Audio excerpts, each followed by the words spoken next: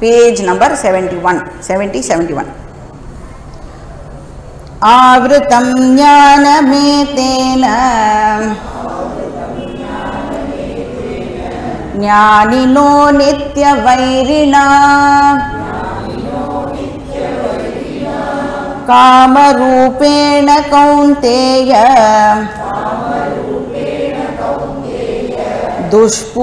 दुष्पूरेणानलेन च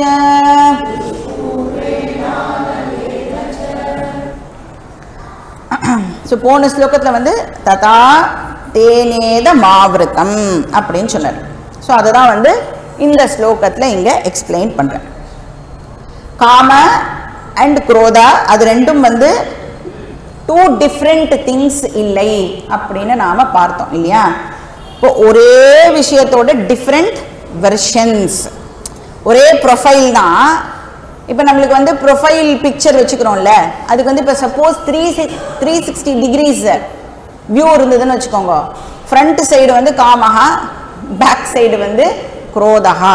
அப்படி வந்து அதை நம்ம இமேஜின் பண்ணிக்கணும். ஸோ இங்கே வந்து கிருஷ்ணர் வந்து காமஹா பற்றி பேசினாலும் நாம் என்ன பண்ணலாம்? குரோதகாவை வந்து அந்த இடத்துல சப்ஸ்டிடியூட் பண்ணி அண்டர்ஸ்டாண்ட் பண்ணிக்கலாம். ரெண்டுமே வந்து ஒரே விஷயம்தான். இப்போ இந்த காமகா என்ன பண்ணுறது அப்படின்னா நம்மளுடைய விவேக சக்தியை விவேக சக்தினா என்ன அர்த்தம்? பிரித்து பார்க்கிற சக்தி பகுத்து அறியற சக்தி. நாட் தி தமிழ்நாடு பகுத்தறிவு. நஜமாலே பகுத்து அறியறது அப்படின்னா பிரித்து பார்க்கிறது. அதனால என்ன ஆயிடுறது? அந்த விவேக சக்தியை வந்து இந்த காமாக கவர் பண்றதுனால நம்ம புத்தி வந்து ஒரு ஜட்ஜ்மெண்ட் பாஸ் பண்ணும் இல்லையா? புத் புத்திக்கு வந்து என்ன ஃபேக்கல்ட்டி அப்படின்னு பார்த்தோம்னா ஜட்ஜ் பண்ற வேலையை வந்து புத்தி வந்து பண்றது. ஸோ அது என்ன பண்றது அப்படின்னா அந்த ஜட்ஜிங் ஃபேக்கல்ட்டி வந்து இப்போ புத்தியை வந்து ஃபங்க்ஷன் பண்ண விடாமல் பண்ணிடுறது. ஸோ துஷ்பூரேனா நலேனச்ச. ஸோ இங்கே வந்து காமஹாவை வந்து எதோட கம்பேர் பண்ணுறார் கிருஷ்ணர்னா அக்னியோட கம்பேர் பண்ணுறார் அக்னி என்ன பண்ணும்? அது எந்த இடத்துல இருக்கோ அந்த இடத்தையே அக்னி வந்து ஆக்சுவலாக அழிச்சிடும். அந்த லோக்கஸ் அப்படின்னு சொல்கிறோம்ல அதையே வந்து அக்னி வந்து அழிச்சிடும். இப்போ இந்த காமஹா இருக்கு அது எங்கே இருக்கு? இப்போ நம்மளுக்கு எந்த இடத்துல இருக்கு? ஆசை? அந்த கரணத்தில் இருக்கு. மைண்ட் அப்படின்னு சொல்கிறோம் இல்லையா? அந்த கரணத்தில் இருக்கு. இப்போ என்ன பண்ணிடுறது இந்த காமகா? எந்த இடத்துல இருக்கோ அந்த இடத்தையே அது அழிச்சுடுறது. மைண்டையே வந்து அது ஸ்பாயில் பண்ணிடுறது. அனல் என்ன அப்படின்னா அனலஹா அப்படின்னு சொன்னால் நெருப்பு அப்படின்னு அர்த்தம். அக்னி. ஏன் வந்து நெருப்ப அனலஹா அப்படின்னு சொல்கிறா இது வந்து ஒரு காரண பெயர் அனலஹா அப்படின்னா. அலம் அப்படின்னு சொன்னால் போதும் அப்படின்னு அர்த்தம். இனாஃப் ஐ ஆம் சாட்டிஸ்ஃபைட் அப்படின்னு அர்த்தம். திருப்தின்னு சொல்கிறோம்ல அப்போ ஆனலஹா அப்படின்னு சொன்னால் என்ன அர்த்தம்? நாட் சாட்டிஸ்ஃபைட் அதிருப்தி. எனக்கு இன்னும் திருப்தி ஆகலை. அதனால தான் நெருப்புக்கு வந்து நாம் எவ்வளோ ஆஃபர் பண்ணாலும் நெருப்பு என்ன பண்ணுறது இன்னும் கொடு இன்னும் கொடு. இது எனக்கு போரலை நம்ம கொடுக்க கொடுக்க என்ன ஆகும் நெருப்பு? இன்னும் நன்னா கொழுந்து விட்டு எரியும் இல்லையா? அதனால நெருப்புக்கு அனலஹா அப்படின்னு பேர். திருப்தி அப்படிங்கிறது அதுக்கு இல்லை. திருப்திப்படுத்த முடியாது. இந்த காமகா இருக்கே அதையும் இப்போ நம்ம என்ன பண்ணுறோம் நன்னா அதுக்கு எல்லாம் கொடுத்துட்டே இருந்தா சரி இன்னைக்கு இது கேட்குறியா ஓகே இதோட முடிஞ்சிடுறதா? அப்படின்னா நம்ம அது கொடுத்துட்டோன்னா என்ன பண்ணுறது அது மறுபடியும் நாளைக்கு வேற ஒன்று கேட்குறது நாமளே என்ன பண்ணுறோம் அதை சாட்டிஸ்ஃபை பண்ணி பண்ணி இன்னும் கொஞ்சம் அதை வளர்த்தி விடுறோம். ஸோ எப்படி வந்து அக்னியை திருப்தியே படுத்த முடியாதோ அந்த மாதிரி நம்மளுடைய ஆசையையும் நம்மளால திருப்திப்படுத்த முடியாது. நூறுரூபா இருந்தால் நீங்கள் என்ன கேட்போம் நம்ம? ஆயிரம் ரூபாய் கேட்போம் ஆயிரம் ரூபாய் இருந்தால் லட்ச ரூபாய் வேணும் அப்படின்னு கேட்போம் இல்லையா? இப்போ இந்த ட்ரேட் ஃபேர்லாம் நடக்கும்ல. இப்போ பொங்கல் போது ட்ரேட் ஃபேர் ஐலண்ட் கிரவுண்ட்ஸ்லாம் போடுவாங்கல்ல பார்த்தீங்கன்னா அங்கெல்லாம் வந்து டிக்கெட் எல்லாம் வாங்கிட்டு நம்ம எதுக்காக போனோம்னா லக்கி டிப் அப்படின்லாம் கொடுப்பான் இல்லையா?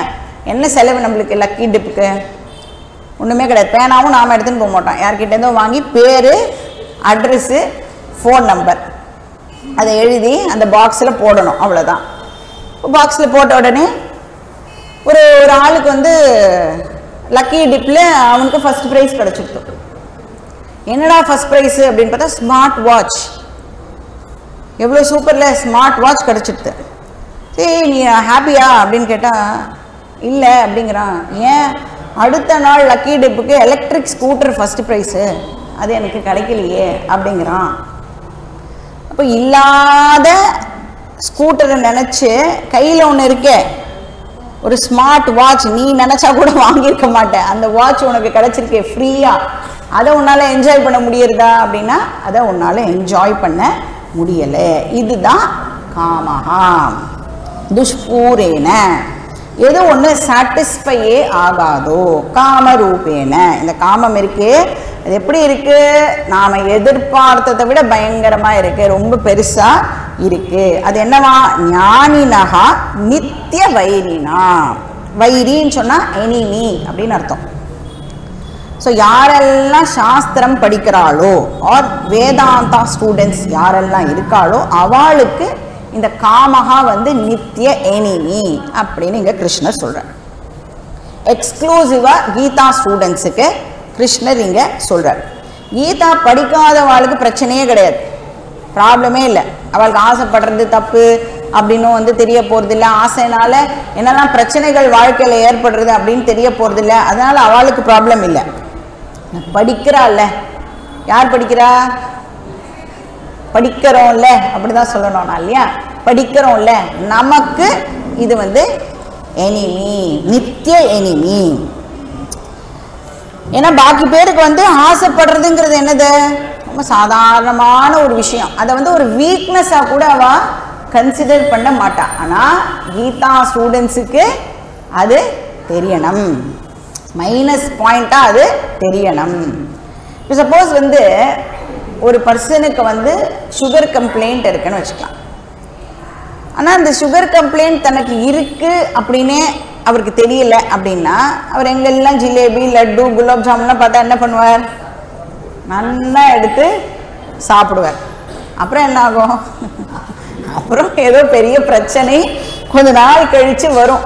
நல்லா கொஞ்ச நாள் கழித்து சுகர் நல்லா ஷூட்டப் ஆச்சுன்னா அப்போ வெடிக்கும். அப்போ போய் டாக்டர் கிட்ட காமிச்சு எல்லாம் பண்ணணும். இதே ஏன்னா அவர் சாப்பிடும்போது எந்த விதமான கில்ட்டெல்லாம் இருக்காது. ஏன்னா அவருக்கு சுகர் இருக்கிறதே அந்த பர்சனுக்கு பாவம் தெரியாது. இதே தனக்கு சுகர் இருக்குது அப்படின்னு ஒரு பர்சனுக்கு தெரியும்னு வச்சுக்கோங்க. அந்த ஹெச்பி ஒன் ஏசியே வந்து எட்டு இருக்குது ஒம்பது இருக்குன்னு வச்சுக்கோங்க. அந்த மாதிரி இருக்கிற ஒரு பர்சன் அவருக்கு முன்னாடி ஜிலேபி ஜாங்கிரி குலோப் ஜாமுன்லாம் வச்சா என்ன பண்ணுவார்? கண்டிப்பாக சாப்பிடுவார். ஏன்னா டெம்ட் பண்ணும் யார் வந்து சுகர் பேஷண்ட்டோ அவளுக்கு தான் இன்னும் வந்து ஸ்வீட் சாப்பிடணும் அப்படிங்கிற ஆசையே வந்து ஜென்ரலாக வரும் இல்லையா? ஆனால் சாப்பிடும்போது ஒரு கில்ட் ஃபீலிங் அவருக்கு இருக்கும். அச்சோ சாப் சாப்பிடும்போது சரி சாப்பிடலாம் யாரும் பார்க்கலையான்னு வேற செக் பண்ணிப்போம். அப்புறம் போட்டு ஒரு எக்ஸ்ட்ரா ஒரு மாத்திரை போட்டுண்டா போகிறது ஒரு கில்ட் இருக்கும். ஐயோ சாப்பிட்டு நாளைக்கு ஏதாவது பெருசாக பிரச்சனை வந்துடுத்துனா என்ன பண்ணுறது அப்படின்னு ஒரு கில்ட்டோடையே வந்து அந்த பர்சன் வந்து சாப்பிடுவார்ல. இப்போ இதே வந்து சுகர் இருக்குன்னே தெரியாத பர்சனுக்கு absolutely no problem blissfully ignorant அப்படின்னு சொல்லுவா. அந்த மாதிரி இங்கே கிருஷ்ணர் சொல்றார் கீதா படிக்காதவாளுக்கு ப்ராப்ளமே கிடையாது. அவனுக்கு என்ன தெரிய போகுது ஆசைன்னு தெரிய போகிறதா கோபம்னு தெரிய போகிறதா ஆனால் கீதா படிக்கிறாள்ல அப்போ என்ன ஆகும் அவளுக்கு அந்த கில்ட் வந்து ஏற்படும். கில்ட் ஏற்படுத்துறது கிருஷ்ணருடைய இன்டென்ஷன் கிடையாது. என்ன சொல்றார் கிருஷ்ணர்? நீ எய்தர் டோட்டல் இக்னோரண்டா இரு. இன்னுமே தெரியாத ஆளாரு இல்லைன்னா என்ன ஆயிடணும்? டோட்டல் நாலெட்ஜபிள் பர்சனா ஆயிடு அப்படின்னு சொல்றேன் இந்த ஹாஃப் பேக்டு நாலேஜ் இருக்குல்ல அது எதுக்குமே உதவாது. அப்படின்னா என்ன சொல்றார் படிச்சு ஞானத்தை எப்படியாவது அடைஞ்சிடு அப்படின்னு சொல்றார் ஸோ காமகா வந்து நித்திய வைரி நித்திய பகைவன் ஸோ காமகா ஞானம் ஆவருத்தம். அந்த காமகா என்ன பண்ணுறது ஞானம்னா இந்த இடத்துல விவேக சக்தி விவேக சக்தியை கவர் பண்ணுறது இப்போ நம்ம வந்து வேதாந்தா ஸ்டூடெண்ட் அப்படின்னு நம்மளை சொல்லிட்டோம்னா நமக்கு வந்து ரொம்ப இம்பார்ட்டண்ட்டாக இருக்கக்கூடிய வெல்த் என்ன அப்படின்னா விவேக சக்தி. ஏன்னா இப்போ நம்ம வந்து வேதாந்தம் படிக்க வரோம் அப்படின்னு சொன்னால் வே இந்த சாஸ்திரம் நம்மளுக்கு கொடுக்குற ஃபஸ்ட்டு சாதனா என்ன அப்படின்னு பார்த்தா கர்ம யோகம். அதில் தான் ஆரம்பிக்கணும் நம்மளோட ஸ்பிரிச்சுவல் ஜேர்னியை இப்போ நான் கர்ம யோகம் ப்ராக்டிஸ் பண்ணணும்னு சொன்னால் எனக்கு என்ன தெரிஞ்சிருக்கணும்னா எது தர்மம் எது அதர்மம் அப்படின்னு பிரித்து பார்க்கிற விவேக சக்தி எனக்கு இருக்கணும். அப்போ ஸ்பிரிச்சுவல் ஜேர்னியோட ஃபஸ்ட்டு ஸ்டேஜிலேருந்தே எனக்கு என்ன தேவைப்படுறது? விவேக சக்தி வந்து எனக்கு தேவைப்படுறது. இப்போ தர்ம அதர்ம விவேகம். இப்போ கர்மயோகம்லாம் வந்து சஃபிஷியண்ட்டாக நான் ப்ராக்டிஸ் பண்ணி அந்த ஸ்டேஜை கிராஸ் பண்ணிட்டேன் அப்படின்னு சொன்னால் நெக்ஸ்ட் எந்த எங்கே போகணும் நான்? ஞான யோகத்துக்கு போனோம். ஞான யோகம் போது அகேன் நமக்கு என்ன தேவைப்படுறது? விவேக சக்தி தேவைப்படுறது. அங்கே என்னதுக்கு விவேக சக்தி? எதை பிரித்து பார்க்கறதுக்கு நம்மளுக்கு தெரியணும்? எது சத்தியம்? எது மித்யா? எது ரியல் எது அன்ரியல் எது நிஜம்?